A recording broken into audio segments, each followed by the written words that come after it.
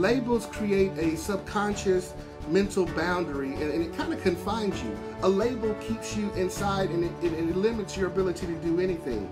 Uh, and, and definitely don't label yourself as lazy.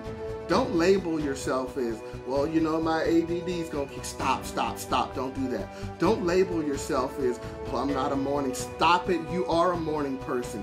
You can concentrate. You are not lazy. Stop putting negative labels on yourself and speak uh, of yourself in the positive frame of mind and start seeing and saying things in, in a positive way, life's going to work for you. But until then, I need you to know this. I can state a fact. You can search CNN, you can search USA Today, look on MSNBC, and look on Fox News.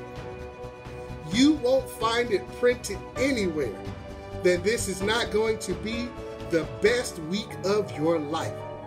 You won't find it on any website, in any newspaper, on any blog.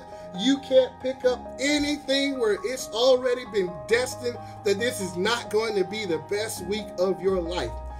You need to expect this week. It's destined. I just spoke that into existence. This is going to be a great week for you. There's no reason for it not to be. I need you to believe. Do you believe? I need you to believe. I believe. We're getting ready to sign off. I believe this is going to be your best week ever. So, Rosie, Maria Alejandra, everyone out there, I need you to just know I love you. This association of realtors and its staff loves you. So, there you've been told, you've heard it. It was spoken, it was spoken to you. There's no reason for you to believe now that this weekend going to be great because you're loved. You're loved. You're loved. When you are flat on your back and you can't help yourself, you had better learn how to humble yourself. When you are at the, the, the whim, beck, and call of other people around you and you can't even speak the language, you had better have learned how to humble yourself so that your spirit, so that the person inside you will allow yourself to receive help. So many of us are going through issues in our life, in our relationships, in our jobs, with our finances, with our children. And because you're not paying attention to the signs, because you're not listening to the experts, because you haven't humbled yourself to get down on the next person's level, that is why you're staying in the crisis that you're in. If you want to bust out of the situation you're in, bust out of what's going on in your life right now, pay attention to the signs, listen to the experts, and humble yourself. I'm trying to help somebody. It is now 9:49. This is Uplift with Cliff. It is the 23rd, the Thanksgiving edition. I want you to ask yourself this. What do I need to let go of to keep up with who I am? Ooh, ooh, ooh, I cut you deep. What do I need to let go of to keep up with who I am? Type it in the bottom of the screen so that you remember it. What are you going to let go today that's keeping you from becoming who you are? What are you going to let go of today that's keeping you from making those appointments and making your calls? What are you going to let go of today that's keeping you from getting in your car and going out there and putting yourself in front of who you need to?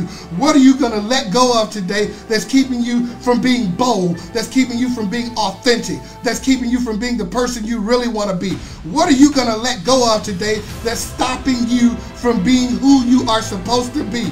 Do you know who you are? And if you know who you are, what are you going to let go of today that's stopping you from being who you're supposed to be?